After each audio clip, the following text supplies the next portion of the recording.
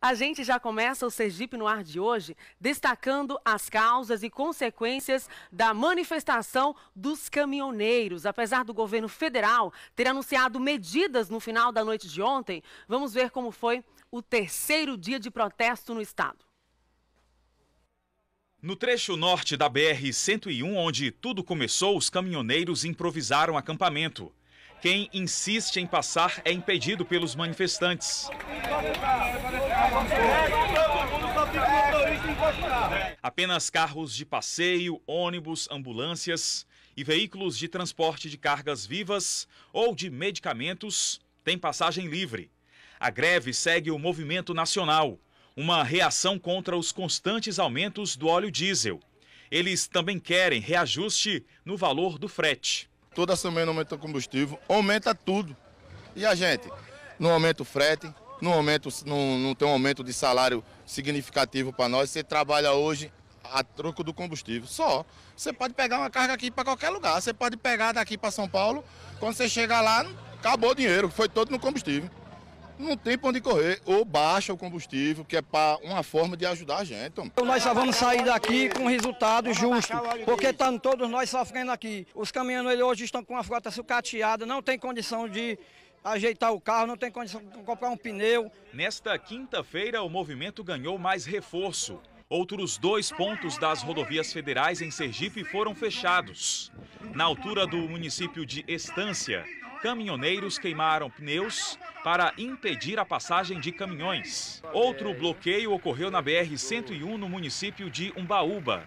Protestos também em três pontos das rodovias estaduais. A rodovia Lourival Batista foi fechada parcialmente. De acordo com o BPRV, o protesto é pacífico. E no meio da tarde, outro bloqueio. Em Tobias Barreto, manifestantes interditaram o trevo de acesso ao município de Itabaianinha.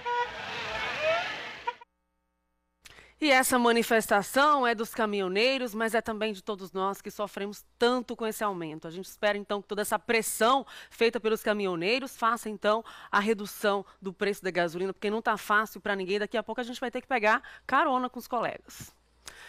Será lançada logo mais às 9 horas da manhã a programação do Forró Siri. O evento acontecerá no Centro Administrativo e contará com a presença de algumas atrações da festa. A repórter Aline Aragão já tem as informações.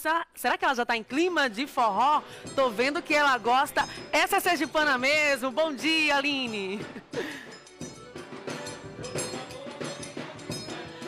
Muito bom dia, Tamires e bom dia a você que assiste ao Sergipe no Ar, no ritmo do São João. Mês de junho tá, tá chegando e um dos maiores festejos é aqui, ó, em Nossa Senhora de Socorro, o Forró Siri. A gente começa aí com trio Pé de Serra, tocando muito forró. Lembrando que a abertura da festa, Tamires, acontece no dia 2 de junho. E aqui, ó, vou chamar o cliente para mim mostrar, ó, dias 29 e 30 de junho, o Forró Siri terá transmissão exclusiva da TV Atalaia. Eu vou chamar agora o secretário de Cultura aqui do município de Nossa Senhora do Socorro, o Natan Reis, para falar sobre essa festa que é uma das maiores do nosso estado, Natan. E a programação como é que tá? Bom dia. A progra... Bom dia, bom dia Tamires. Estamos aqui no ritmo de forró. A programação tá demais, viu? Quem vir para cá curtir o forró de Siri vai estar aí com a melhor programação, porque o forró Siri é o melhor São Pedro do Brasil. São muitas atrações, né? Priorizando aí artistas da terra. São mais de 30 atrações nós temos uma novidade no Forró Siri, que é o palco da diversidade cultural. É uma novidade, viu, galera? Vai ter música eletrônica, vai ter é, samba, pagode e vai ter muito forró no palco principal. Então, todos estão convidados. Aqui agora, pela manhã, nós estamos aqui, o prefeito está oferecendo um café da manhã para toda a comunidade, onde ele vai estar lançando daqui a pouco a programação oficial. Você viu, né, Tamires, que eu tô é bem, ó. Tô no forrozinho, daqui a pouco comida típica regional, uma delícia. Acho que eu vou ficar é por aqui, viu? Vou ficar aqui, não vou sair de mais de socorro. E mais uma vez a parceria, né, Natan, com a TV Atalaia nessa transmissão aí ao vivo. É isso aí, a TV Atalaia tá de parabéns. Ano passado, transmissão ao vivo para todo o estado e agora não vai ser diferente, viu? A Arena do Forró Siri uma arena preparada né, para receber todos os forrozeiros. Nós vamos, estamos agora aqui no processo de finalização da arena, o prefeito vai entregar a arena para receber, né? E graças a Deus, parceria com a TV Atalaia, que sempre está aí acompanhando esse evento maravilhoso.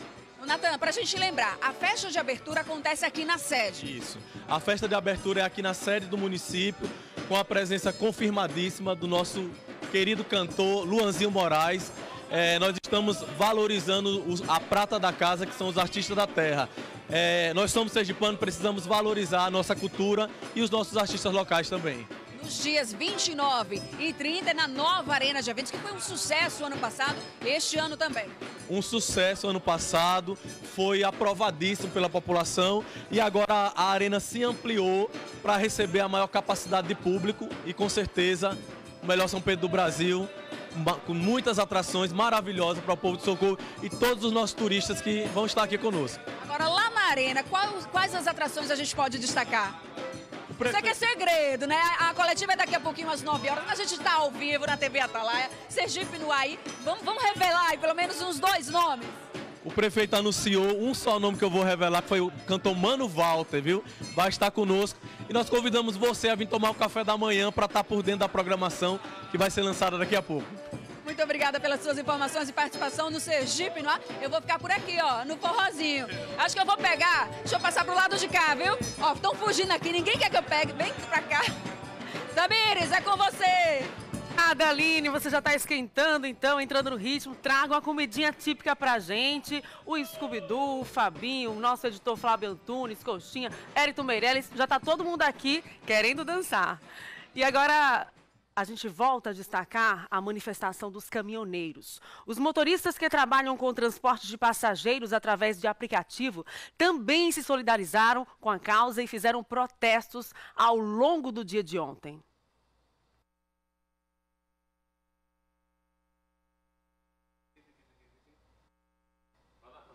Logo pela manhã, um grupo fechou o cruzamento das ruas Capela com São Cristóvão no centro comercial de Aracaju. O trânsito ficou parado por algum tempo. Já à tarde, eles se concentraram na Avenida Beira Mar, na 13 de julho, e deixaram apenas o trânsito em meia pista. E agora a gente volta a destacar nessa edição as causas e consequências dos protestos dos caminhoneiros pelas rodovias do estado. Entre as consequências, filas quilométricas nos postos de combustíveis. Vários veículos formavam filas em postos de combustíveis. O motivo? A possível falta do produto nos postos. Quem não quis arriscar teve que correr contra o tempo muito preocupado. É tanto que já estou aqui abastecendo este carro e vou já pegar o da minha mulher também para abastecer. O risco da falta de combustíveis não acontece só em Sergipe, mas em todo o país. E é ocasionado pela paralisação dos caminhoneiros, que já acontece pelo terceiro dia. Eles se manifestam contra os sucessivos aumentos no preço do óleo diesel. A gente trabalha, morre de trabalhar e não tem dinheiro para mais nada porque os combustíveis levam tudo, né? Temos que viver isso até quando? Eu estou totalmente a favor dos caminhoneiros, se depender de mim, tudo que for do meu alcance farei para parar o Brasil sim. Na terça-feira, a Petrobras anunciou um reajuste de 0,97% no preço do óleo diesel. Após reclamações, a previsão era de uma redução de 1,54%. Neste posto, o óleo está custando R$ 3,89. Em outros locais, o valor chega a mais de R$ 4,00. Esse é o posto mais barato, coisa de centavos. Questão de 5 centavos já melhora para a gente. Em virtude dos outros está R$ 4,10, na BR está R$ 4,20 e está subindo mais. E os postos da, da Zona Sul está pior ainda. Então nós estamos procurando a melhoria e está difícil e vai ficar mais se a gente continuar fazendo isso por eles e eles fazendo isso por nós que é acabando. Tá difícil mesmo. A gente espera pelo menos que baixe um real. Olha que coisa boa, a gente já estaria bem feliz e tudo voltaria a funcionar tranquilamente. Ó, seria um sonho, né não? E agora mostraremos os transtornos no trânsito devido ao bloqueio de vias e desabastecimento de alguns postos de combustíveis. Para se ter uma ideia, muitos tiveram que fechar por falta do produto. No período da tarde, os transtornos aumentaram. Neste posto de combustíveis da Zona Sul, foi preciso ter muita paciência para abastecer, que o diga esta estudante de psicologia. Uma hora e 55 minutos que eu estou na fila. Só esperando? Só esperando. Mas se não abastecer também agora, já sabe, né? Já tem vários postos aí, já passei por três que não tem combustível.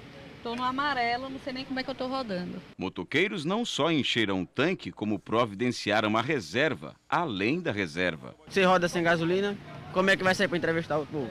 Não sai, né? Vai guardar aí no vasinho? Lógico. Nós estamos esperando é, reservar um pouquinho para uma maior emergência, né?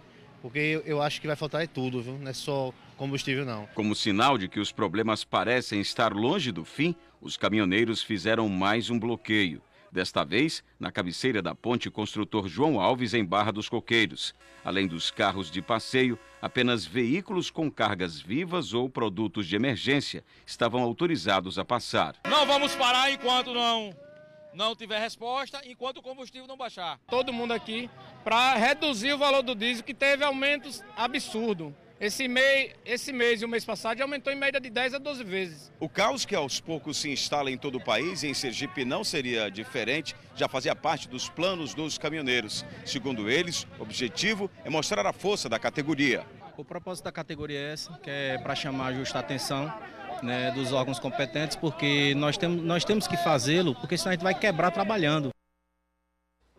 Tá fácil não, viu? Vamos falar de trânsito. Você vai sair de casa, vai passar pela Avenida Beira Mar. Enquanto tem gasolina, ainda tem trânsito, né? Vamos ver ao vivo como está a movimentação neste momento. A gente tem imagens por meio das câmeras da SMTT, Avenida Beira Mar, fluxo intenso, né? Muita gente saindo de casa para trabalhar, para os compromissos do dia, semáforo aberto, tudo fluindo muito bem. A gente tem outro ângulo aí para mostrar? Não, produção. Ao vivo é assim, olha, a gente percebe ali os ciclistas, estava fora da faixa. Importante atravessar na faixa de pedestre por causa da segurança. A gente tem outras imagens aí, o trânsito está fluindo bem, graças a Deus que continue assim e que haja gasolina, né, para que continue tendo trânsito.